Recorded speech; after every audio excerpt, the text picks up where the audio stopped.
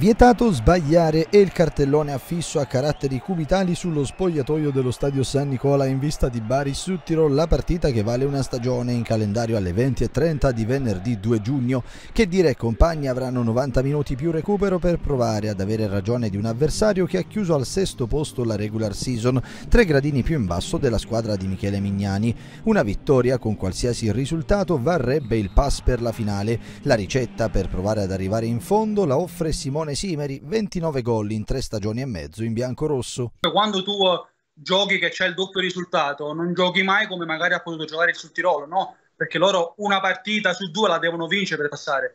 Quindi hanno giocato, secondo me, con più, uh, con più fame, con più diciamo, consapevolezza dei, dei loro mezzi nel dire o vinciamo ora o non vinciamo più, perché comunque sanno delle difficoltà che potranno trovare a San Nicola.